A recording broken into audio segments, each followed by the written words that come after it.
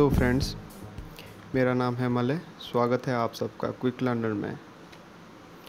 आज हम लोग सीखेंगे कि विजुअल स्टूडियो 2017 को आप इंस्टॉल कैसे करेंगे और उस पर अपना पहला वेब प्रोजेक्ट कैसे बनाएँगे। तो चलिए शुरू करते हैं। तो सबसे पहले हम लोग को डाउनलोड करना हो, होगा विजुअल स्टूडियो 2017 तो इसको इंस्टॉल करने के लिए सबसे पहले गूगल पर जाएँ। और यहाँ पर सर्च करें विजुअल स्टूडियो 2017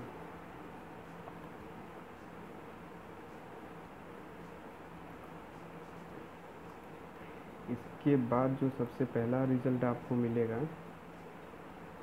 उस पर क्लिक कर लीजिए।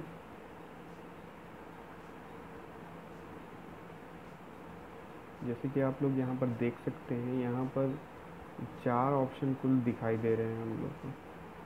तो हम लोग को बस चाहिए होगा विजुअल स्टूडियो कम्युनिटी 2017 जो कि पहला ऑप्शन है। तो यहाँ फ्री डाउनलोड पे क्लिक कर लीजिए।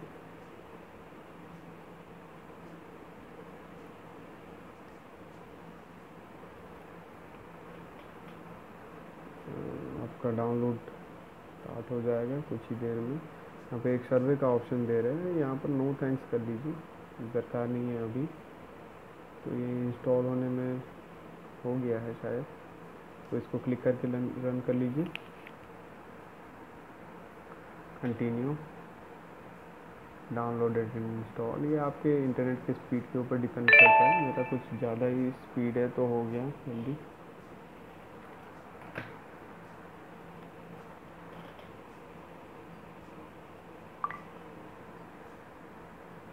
उसके बाद, या जो स्क्रीन आपको दिखाई दे रहा है, ये आपकी स्क्रीन से कुछ अलग होगा, क्योंकि मैंने पहले से ही विजुअल स्टूडियो 2017 को इंस्टॉल कर रखा है। इसीलिए यहाँ पर मुझे अपडेट और लंच का ऑप्शन दिखाई दे रहा है। ये सब ऑप्शन आपके स्क्रीन के ऊपर नहीं होगा।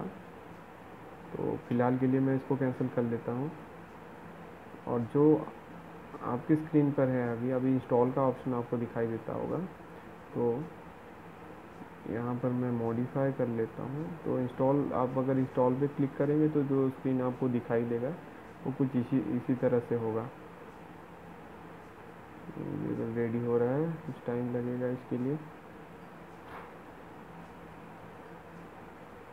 हो गया है। तो यहाँ पर आपको सिलेक्ट करना है A S P dot net and web development बस यही एक चीज़ आपको चाहिए होगा।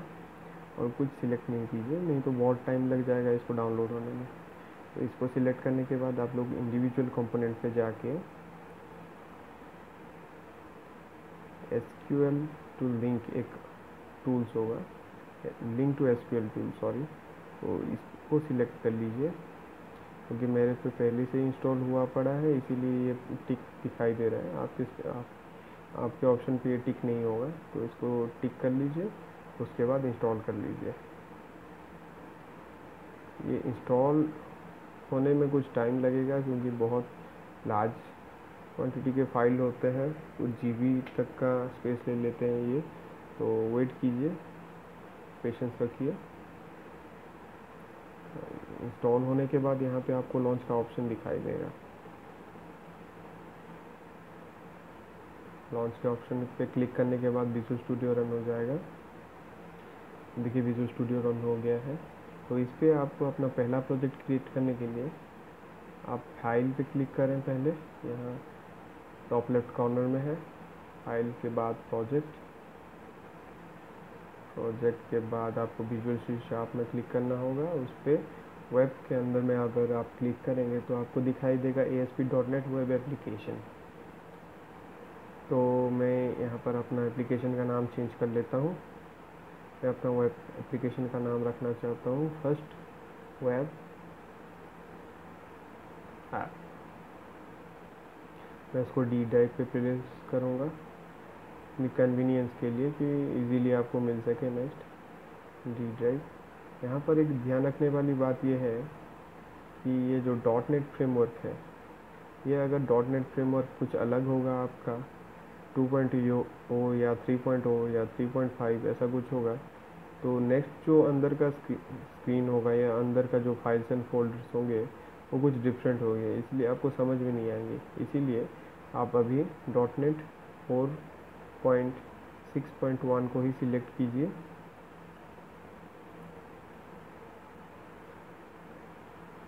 के बाद ओके पे क्लिक कीजिए।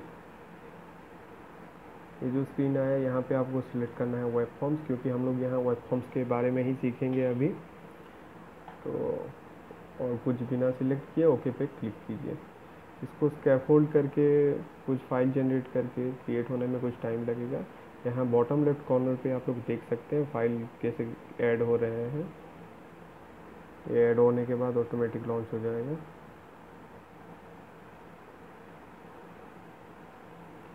देखिए, हम लोग का वेलकम स्क्रीन आ गया है। इस पर कुछ इन्फॉर्मेशन है, आप लोग पढ़ सकते हैं। मैं अभी नहीं पढ़ूँगा, इसको क्लोज कर लेते हैं। यहाँ पे आप देख सकते हैं server explorer, tool box, solution explorer. अगर ये सब आप, आपको दिखाई ना दे तो आप व्यू पे जाके यहाँ पर सिलेक्ट कर सकते हैं। सोल्यूशन एक्सप्लोरर के लिए वहाँ ऊपर पे दिया हुआ है कंट्रोल ऑन टेल ये शॉर्टकट की है उसका। यहाँ पर देखिए ऑटोमेटिकली कुछ फाइल्स एंड फोल्डर्स जनरेट हो गए हैं। इसके बारे में हम डिटेल में पढ़ेंगे फ्यूचर वीडियोस में। अभी के लिए इसको रहने देते हैं। सब कुछ ठीक से काम कर रहा है कि नहीं, इसको चेक करने के लिए हम लोग अपने एप्लीकेशन को रन कर लेंगे। रन करने के लिए इस ग्रीन बटन पे क्लिक कर लीजिए।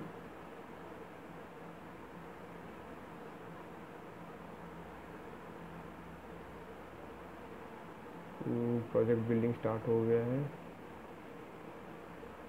कुछ टाइम लगेगा इसके लिए शायद। ब्राउज़र भी खुल गया।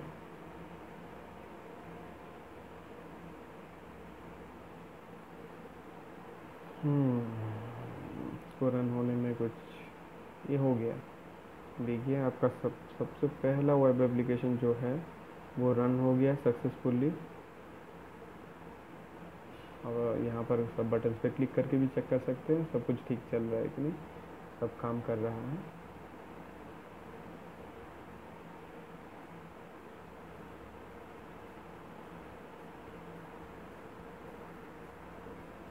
हो गया। आपका सबसे पहला वेब एप्लीकेशन जो है क्रिएट हो गया है।